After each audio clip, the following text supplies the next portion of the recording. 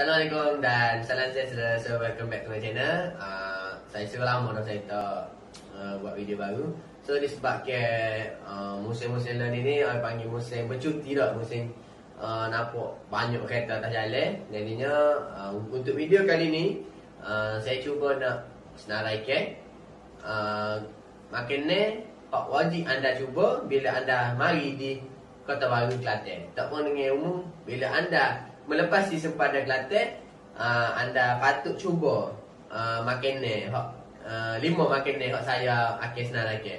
So uh, suka saya ingatkan makan ni hak saya senaraikan ni adalah pendapat daripada saya sendirilah. So mungkin pendapat daripada anda tu berlainan dengan saya. Anda boleh komen dekat bawah. Mungkin kita akan boleh buat buat untuk next video deh. Okay, so untuk makanan pertama ni saya pilih etok. So tak dinafikan lah uh, Etok pun ada je di negeri lain lah ni. Tapi uh, Etok ni dia sohu uh, Berasal daripada negeri Kelantan juga lah kan? Uh, So bila anda mari di Kelantan ni Anda tak perlu pusing, tak perlu bimbang Sebabnya etok ni banyak sangat orang jual di tepi-tepi jalan. So bila-bila berhenti tepi Bila-bila uh, berhenti kereta tepi jalan pun Anda boleh je uh, beli etok uh, That Tambah lagi dah ni. Etok ni dia mari dengan pelbagai perisau sahabat. Dia mari dengan perisau paprik Perisau tomie Perisau masing Perisau pedas Perisau kari macam-macam adalah. Tetapi bagi saya Perisau original Etok salah original tu Lagi uh, Menambah hati saya lah. So anda mungkin boleh cubalah Macam-macam jenis perisau. Okey Untuk uh, makanan yang kedua Makanan yang kedua saya pilih uh, roti titak. Uh, roti titak ni orang panggil uh, macam uh, roti, sekeping roti dia letak uh, macam kaya dekat empat penjuru tu.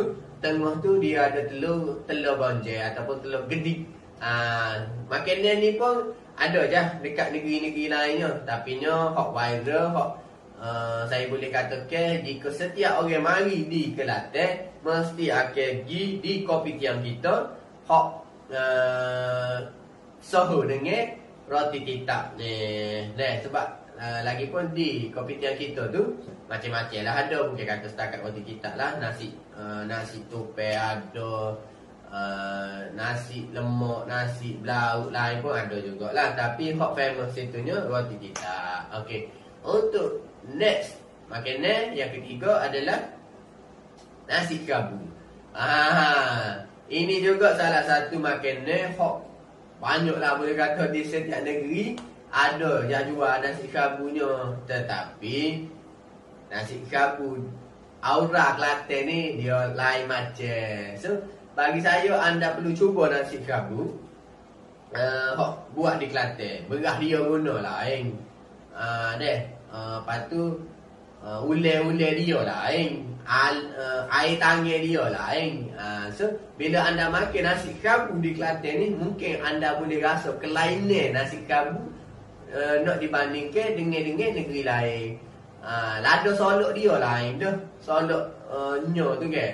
Lada dia guna lain dah uh, So uh, Kalau tak silap saya Nasi kabu ni Dia ada banyak tempat lah Uh, salah satunya dekat area sebelum Sapa uh, JP Panji tu Director kedai kat tu Banyak sangat lah nasi-nasi kabu Ataupun uh, lalu ke uh, Nak naik ke Keteri Lalu ke Keteri tu dia ada satu tempat dinamakan macam uh, Nama kau ni? Warisan ni? Zon nasi kabu uh, Zon nasi kabu Ha, bila daripada tunjuk menghala ke teres tu ada satu signboard besar tu dia bangunkan sebagai zoom nasi kabu.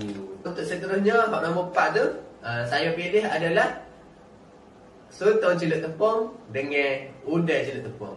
Ah, ha, sebab apa saya kata anda bila mari di Kelantan anda perlu rasa soto celup tepung dengan udang celup tepung ni sebabnya di negeri lain perbezaan dia sangatlah ketara. Sebabnya saya pun pernah rasa di negeri lain dan uh, pendapat saya lah kan memang sangat-sangat berbeza. Dan hak paling uh, saya ayat hak paling sahur lah kan. Uh, di Terengganu kita tahu nak cerita. Hak untuk di Kelantan hak paling sahur anda boleh cuba di Acu Tera Acu Tera di Pantai Sabok uh, situ di tepi pantai lah. Bila anda makan, anda boleh tengok sambil-sambil tengok air laut bergelombang ombak lah. Ha, lah gitu deh.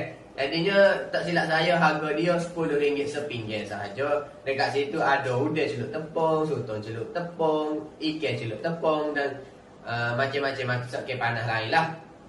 Cuma dia boleh kata bila anda cuba terasa benda tu anda mungkin akan terbawa-bawa untuk mari lagi terah pula. Ha. Okey untuk last but not least, makanan yang saya pilih adalah kecap ataupun siput sedup. Ah, gapo kelainan siput sedup di Kelantan ni? Uh, saya pernah rasa siput sedup di negeri lain Maksudnya saya duduk di Johor Saya duduk di Perak uh, Saya duduk di Penang Siput sedup dia Hak jenis panjang kan Hak jenis panjang tu Tetapi di Kelantan Siput dia ni hak jenis pendek Tengok lah Boleh didapat uh, saya selalu pergi makannya uh, Dekat warung nasi ulai di uh, berdekatan dengan jambatan uh, Salo Pasir Mat. Lalu highway hok baru tu untuk daripada Tunjung nak ke Pasir Mat akan lalu situ sebelum naik jambatan baru tu dekat tepi sebelah kanan ada warung nasi ulai situ macam-macam jenis makanan lagi lah. Ha, so uh, suka saya ingat sekali lagi Makanan-makanan yang saya senaraikan ni adalah pendapat daripada saya sendiri. Dan juga makanan ni, lo ni boleh dikatakan di setiap negeri pun ada lah. Bukan kata mari di Kelantan boleh baru, uh, baru boleh makan. Di negeri lain pun macam nasi kabu, uh, eto, roti tita, macam, uh, banyaklah di negeri lain pun. Tetapi, bila anda mari di Kelantan, anda kena cuba masukkan Kelantan macam mana feelnya makan di negeri Kelantan. Okay guys, so uh, yang belum subscribe boleh uh, tekan butang subscribe dan yang untuk komen, uh, yang untuk nak komen mungkin ada ber uh, bukan ber, bukanlah belaga Bukanlah bercanggah pendapat kan? Tetapi mungkin ada pendapat lain Makin ni ada di Kelantan Tapi tak ada negeri, di negeri lain Anda boleh komen di bawah. Okay, what's up guys. Bye-bye